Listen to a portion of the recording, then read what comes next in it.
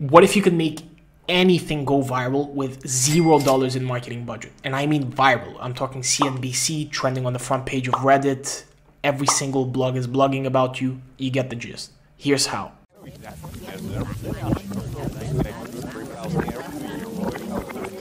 Now, to understand this method, there's a particular story that I need to shed light on, and this story comes from a certain resource, which I'll showcase towards the end of the video itself, but it goes as follows. It starts with two individuals. One individual is a person that currently runs a charity, and he's looking to crowdfund it by starting a Kickstarter project.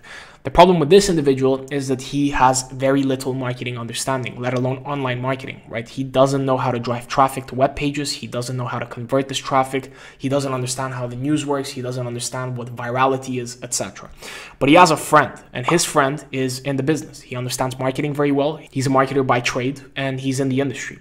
So the crowdfunding guy goes to the marketer and he's like, This is the case. I basically need to drive traffic to the landing page on Kickstarter in order to get crowdfunders so that we can get some sort of following and some sort of traction.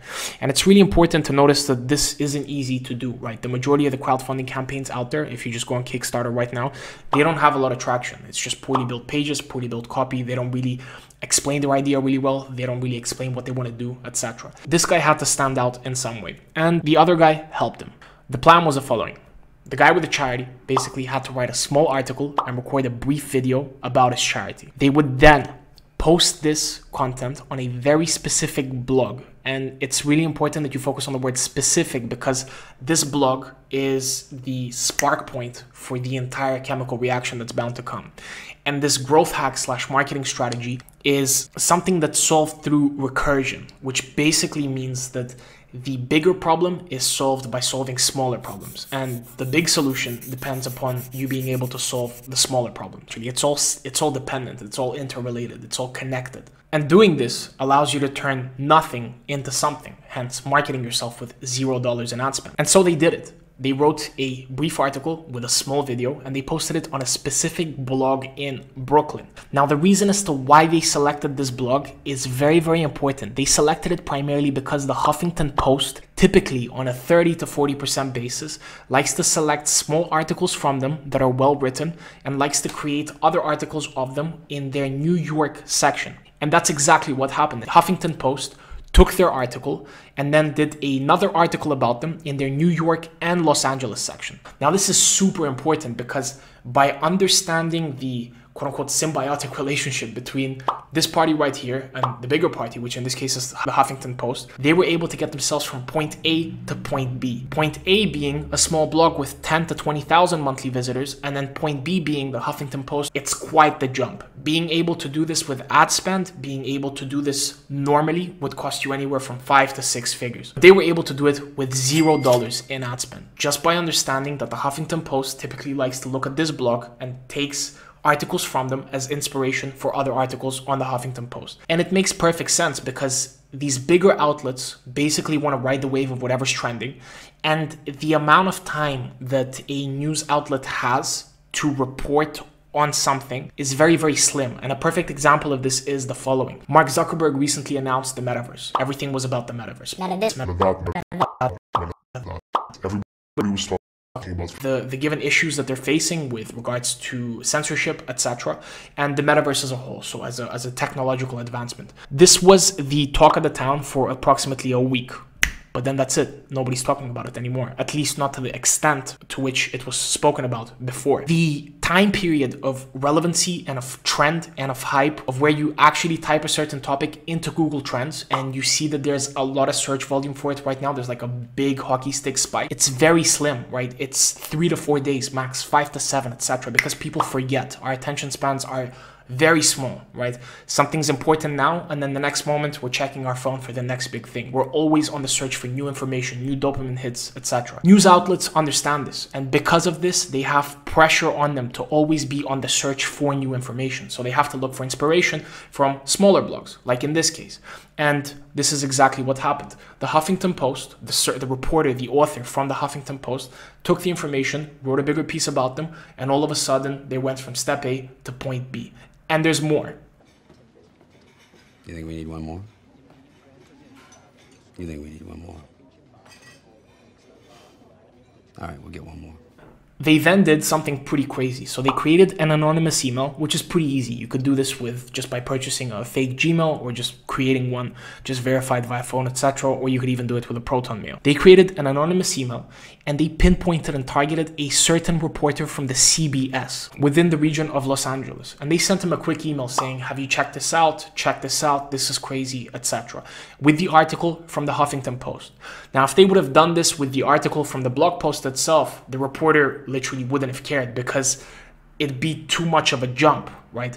But because they were able to get it from the blog post to the Huffington Post and then send a piece of content from the Huffington Post to the news reporter, the news reporter thought like, yeah, then it's definitely worthwhile. And by doing that, by showing the reporter the right piece of content at the right time, they were able to get a free television piece done from the video content that the guy filmed beforehand, right?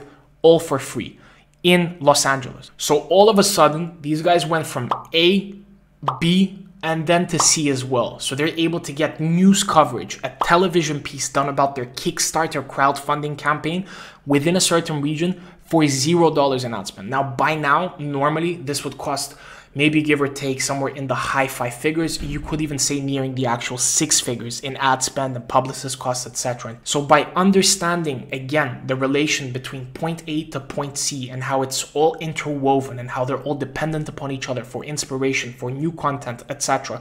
And there's a pressure on them to create content that's relevant and trending at the moment. By playing into this, they were basically able to cheat the system and manipulate the media. But wait, there's more. They then posted the CBS piece, right? Not the Huffington Post, not the blog post, the actual CBS television piece onto Reddit. And all of a sudden, everybody on Reddit started upvoting it because it is a charity and it does have a certain emotional factor attached to it. Everybody started upvoting it on Reddit and all of a sudden it's trending on the front page of Reddit. Now, if you just took a blog post and you started upvoting it on Reddit, it'd have very little impact. But because CBS, it has the clout and it has the validity, right, of a big news source making it very legit, everybody's looking into it because they know that CBS wouldn't just cover something that's irrelevant. Whereas a blog, not a lot of credibility. If you just post that on Reddit, everybody would be like, okay, it's probably just some click spam or whatever. But because the CBS posted it and people are basically sharing what the CBS posted on Reddit, this then has the clout, it has the validity, and it has people watching. So this then rises to the top of the trending page, right? Because everybody's upvoting it. And once that happens, because all the other blogs and news articles typically look at Reddit to see what's trending, other blogs and other news articles started basically posting about it. And again, it all comes down to the simple point of blogs competing to get stories first, then news outlets competing to basically report on stuff first, right? And then other individuals like podcasts, etc., competing to get an opinion on something first. Everybody wants to be first. So if you can play into that and just structure it correctly, you can basically get yourself from zero marketing budget to viral. This is what Ryan Holiday calls the media manipulation method in Trust Me, I'm Lying. And by understanding the relations between outlets with blogs, etc., they were basically able to create something from nothing. And by utilizing that, they were basically able to get thousands, right? Hundreds of thousands of impressions with zero ad spend. Now, again, as I mentioned, doing something like this with Facebook ads would cost you possibly millions. Doing something like this through the PR way as well would possibly cost you within the five to six figures, right? There's a cost associated with having stuff posted or having people cover stuff because they understand that if they do post about it, there will be impressions. So they put a price tag on it. With no ad spend, no publicist, they went from zero to hero. Now, again, this is an excerpt from Trust Me I'm Lying, which was written a few years ago. Now, things have sort of changed. You have a lot of automation come into place. So, a different variation of this would basically be the following creating a blog post, paying for this blog post with a, a notable outlet out there like Forbes, Entrepreneur, etc. And then posting it on Reddit and trying to get it onto the top of the trending page using, let's say, upvote manipulation, which is another variation of some of the marketing automation that we have today, which is pretty big as well. Reddit does have an upvote problem from a content perspective. If you're a marketer, you can use it. If you're a consumer, you need to be aware of it. But it's definitely a variation that could work. What I really like is the fact that they were able to basically pinpoint a reporter within the news outlet and then contact him using a fake email address just to make it look like it's not associated with the story itself. Because if they contacted the reporter with the charity's email, then the reporter would have gotten back to them and said, like, okay, just speak with the partnership person to actually get yourself a sponsorship so that we can create a piece on you. Because otherwise it would cost money. But by creating a fake email address and by making the party seem like it's totally disconnected, they were basically able to get free PR, which is pretty important. And that's something that could definitely be tested today. It can be replicated. And I know that this is primarily theory at the given moment, but it's definitely something worth discussing, especially on a channel like this nonetheless. And there's many variations of this happening on a day-to-day basis. You just need to look close enough, right? What's a publicity stunt? What's being actually orchestrated? What's what was thought out, etc. Definitely recommend you guys check out the book. I've linked it in the description below. Check out the channel as well for more growth hacks and more marketing tips. And I'll catch you guys on